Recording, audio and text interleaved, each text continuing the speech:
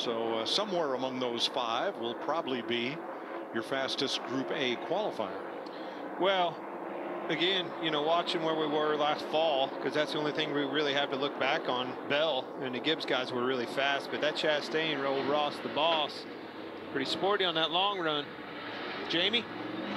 Christopher Bell, after such a dominating performance last week, his feedback to the team was, I think we have a flat. I have no grip, so he brought it in.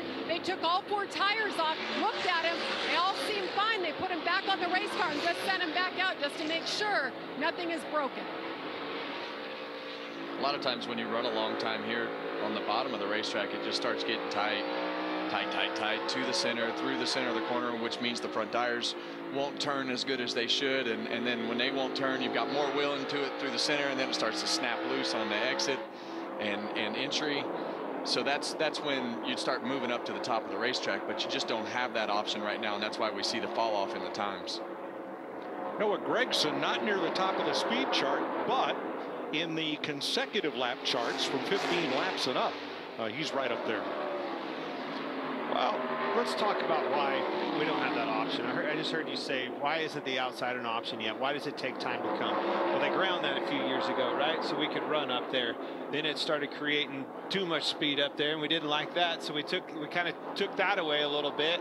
Well, now, as it takes rubber, you have to get up there and burn some rubber into it. The resin in the tires is what it is. It gets up there on that, that patch, and slowly but surely, uh, one car gets up there, two car gets up there. It's kind of like rolling in the outside of a dirt track. Next thing you know, it's the, the catbird seat right there, the yeah. line, well, they, line. When the top became the dominant line, they added the, the resin to the bottom of the racetrack to give the bottom more more grip longer and when you needed to pass somebody gave you another option which worked out great for balancing the racetrack and the reason the other reason that everybody goes to the top is exactly what we're seeing right here because the fall off is you know over a second as we saw with Ross Chastain, who ran 50 straight laps, and it's like 1.2 seconds. So when you can move up the racetrack and use that top line to, to not have as much fall off with that momentum around the top, um, that's and, that's what they do. And then it just takes time for that to yeah. clean up and burn in and get that rubber burn into it. You'll see it, start to see it uh, tonight in the truck race. It'll start,